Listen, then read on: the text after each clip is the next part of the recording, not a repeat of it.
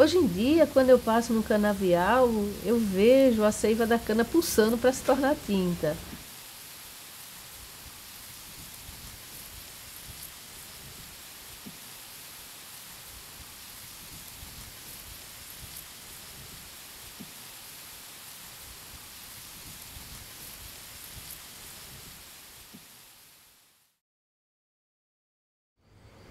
Então, eu disse, peguei o açúcar, né?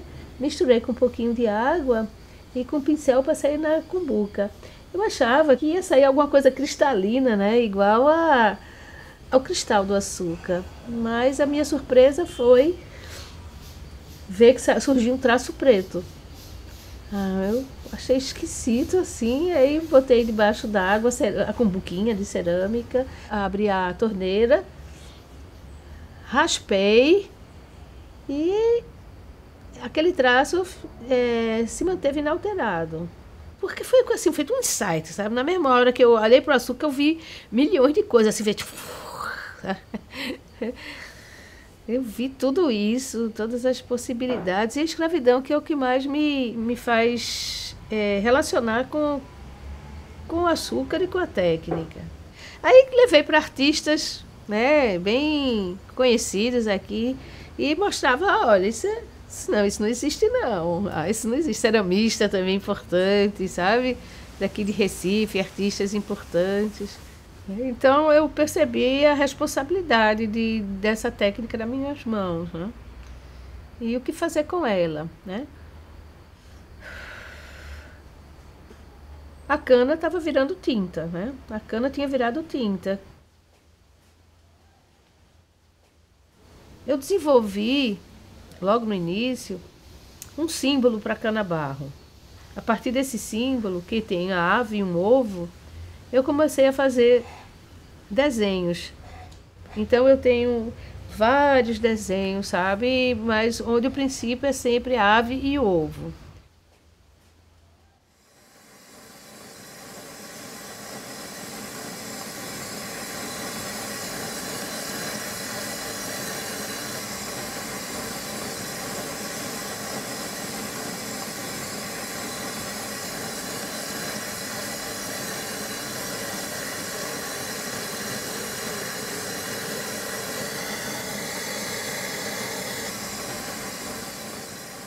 Sou artista desde pequena, né? Nasci artista, nunca é, tive competência para outra coisa. Eu digo competência porque realmente eu tentei outras coisas, mas ser mãe e artista foram as coisas que eu me dei bem, né? Eu nunca fui ceramista, né? Eu não faço as minhas, as minhas próprias peças, né? Eu não sinto necessidade de, de, de, de criar minhas peças porque eu também descobri o design das, das panelas de barro da nossa olaria popular, né? São panelas, são, são utensílios de barro e assim com design milenar, secular. Eu comecei a usar essas, essas, esses utensílios ao carregar, montar um sobre o outro, eu vi que, que eram módulos que tinham uma, uma estética bonita.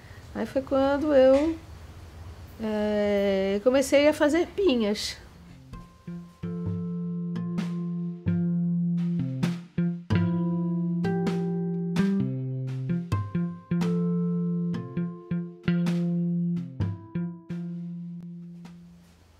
Primeiro era o açúcar, mas o açúcar ele não tem a mesma força do caldo da cana, sabe? E quando eu, diluo o açúcar com a água, fica um pouco ralo, sabe? Mando moer a cana com, com casca e tudo, porque a casca também tem um pouco de cera, tá? E eu acho que fica mais forte, agrega, sabe, ao caldo de cana. Aqui eu compro caldo de cana nas estradas, né? Nos, no, em qualquer lugar que aqui tem caldo de cana. Aí compro, faço minha tinta e pinto. E eu digo que o que fez a cana virar tinta foi, foi, foi o adubo. o barro onde a cana nasceu, onde a cana nascia, né? Ou nasceu, ou vem nascendo, é um, um barro adubado, com sangue, suor, lágrimas, né? saliva, urina, fezes. E pedaços de corpos, até corpos inteiros dos trabalhadores. E isso vem há 500 anos, porque antigamente não era brincadeira, não. Antigamente era assim, palmo a palmo, o pessoal lá, os escravos, né, plantando essa cana, plantando e replantando, plantando e replantando, né. Então, assim, que ela virou, virou, virou tinta, né, e por conta do adubo, e assim é como se existisse um, imaginário a ser revelado, sabe? A tinta, essa tinta, que quando você vê a, a tinta cana-barro vindo da cana, é como se você estivesse vendo todos os antepassados, todo mundo que passou por ali, né?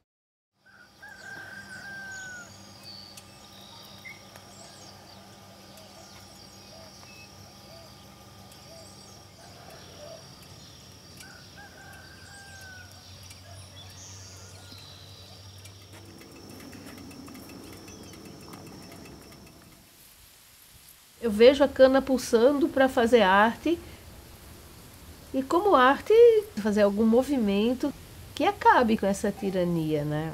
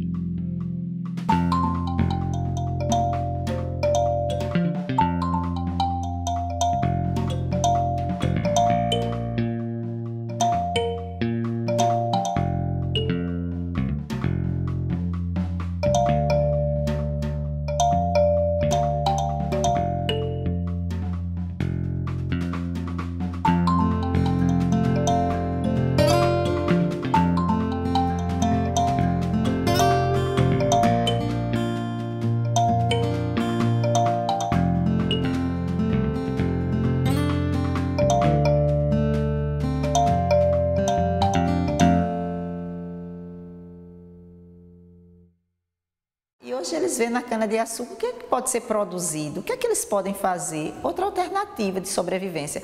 Podem estar usando a cana, agora de uma maneira bem mais tranquila. Eu cortava a cana, aí eu tinha vergonha até de ir para a escola, porque as mãos eram sujas de.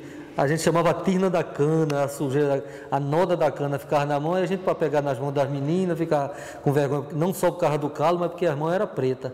Aí não tinha ideia da, da, da, da que aquela tinta aquela tinta preta, poderia servir mais tarde, né, aprender com vocês mais tarde sobre essa arte. Né?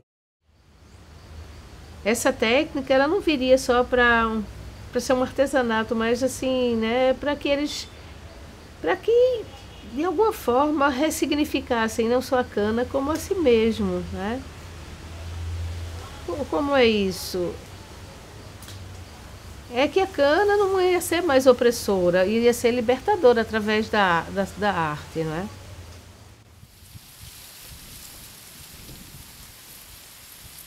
A cana-de-açúcar tem muita história para contar. Cansada de tanta mentira, resolveu em tinta se transformar e essa história ela mesmo cantar. Chamou o amigo Barro para essa história também contar, pois nenhuma cana cresceu sem o Barro lhe ajudar. Sabendo quanto é doce e quanto amargo pode se tornar, e para a formiga evitar e não mais mentira contar, a cana e o barro no fogo foram se juntar, dessa vez não para fazer doce, mas para a história contar. O barro aguenta fogo, todo mundo sabe. O açúcar aguentou, no barro grudou, ficou preto de se admirar. Mas antes lembra quando no fogo entra, com cheiro de açúcar queimado a se espalhar? Canabarro tem muita história para contar.